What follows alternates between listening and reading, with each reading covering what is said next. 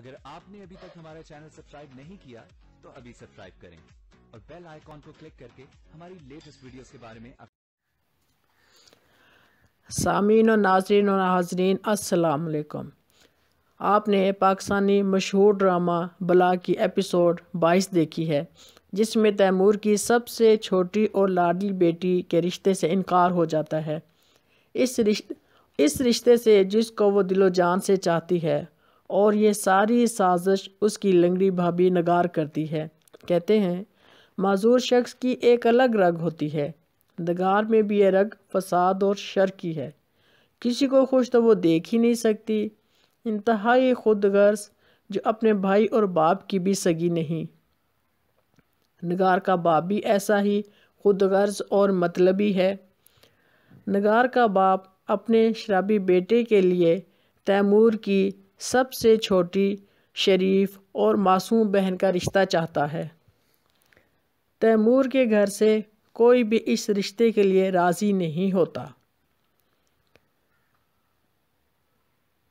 ادھر، نگار بھی شادی سے پہلے تیمور سے شادی کرنا چاہتی ہے اور باپ کے ساتھ مل کر اپنے بھائی کی بیوی کو مروا دیتی ہے۔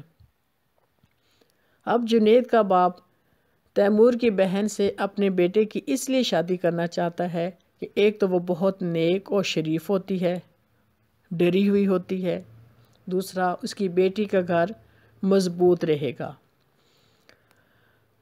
نگار کی شادی جب تیمور سے ہو جاتی ہے تو وہ بھی اپنے باپ کو آنکھیں دکھانے لگتی ہے۔ لیکن نگار کا باپ بھی باپ ہی ہوتا ہے، وہ اپنی بیٹی کی چال کو سمجھ جاتا ہے۔ وہ اس کو بلیک میل کرتا ہے۔ اور اس کے ساتھ ایک ڈیل کرتا ہے۔ اس کو کہتا ہے، اگر تم نے تیمور کی بہن کی شادی جنید سے نہ کی، تو میں تم سے ساری جائیداد واپس لے لوں گا۔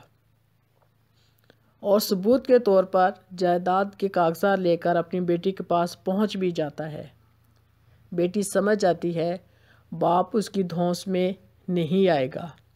چنانچہ وہ چال چلتی ہے اور دھوکے سے بطول کی شادی اپنے بھائی سے کروا دیتی ہے۔